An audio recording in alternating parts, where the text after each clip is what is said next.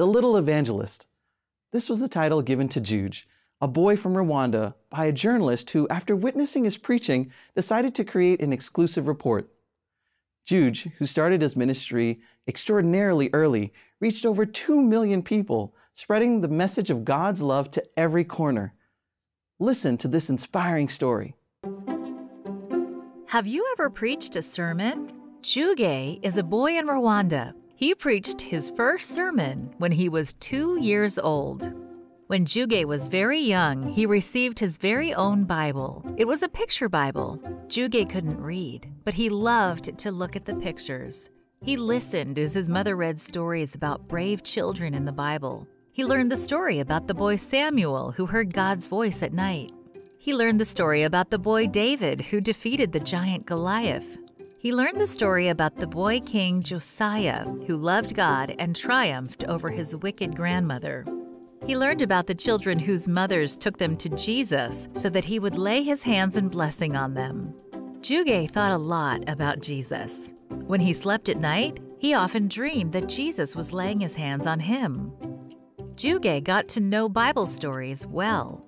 Adults noticed that Juge was familiar with the Bible, so when he was only two, they invited him to stand in front of a church to preach. When he got up to speak, he felt frightened and embarrassed when he saw everyone looking at him.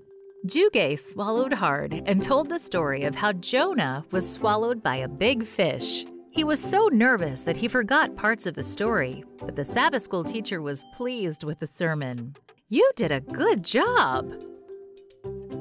Juge felt encouraged to continue. He studied the stories in his picture Bible and memorized them.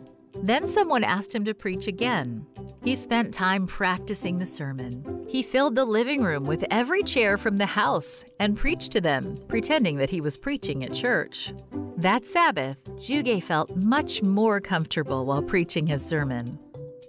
One Sabbath, when Juge preached, someone made a video of the sermon and posted it online. Some journalists saw the sermon and made a video report about Juge titled The Little Evangelist. Many people watched the report, and soon Juge was receiving invitations to preach at different churches in Rwanda. Juge loved speaking about Jesus. He loved meeting other children and making new friends. He especially liked seeing people raise their hands as they gave their hearts to Jesus at the end of his sermons. When Juge was seven, someone invited him to give evangelistic meetings for a whole week in a faraway city. He would need to preach every evening for seven days. At first, Juge was scared and thought that he wouldn't be able to preach evangelistic meetings. Then he decided to take his fears to God.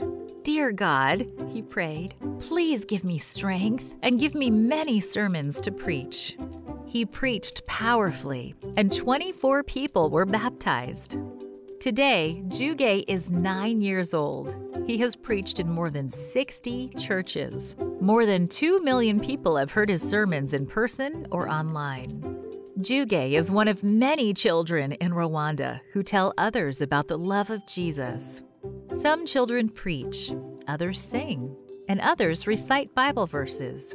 Thank you for your Sabbath School mission offering, which helps children in Rwanda and in many other countries around the world hear about Jesus.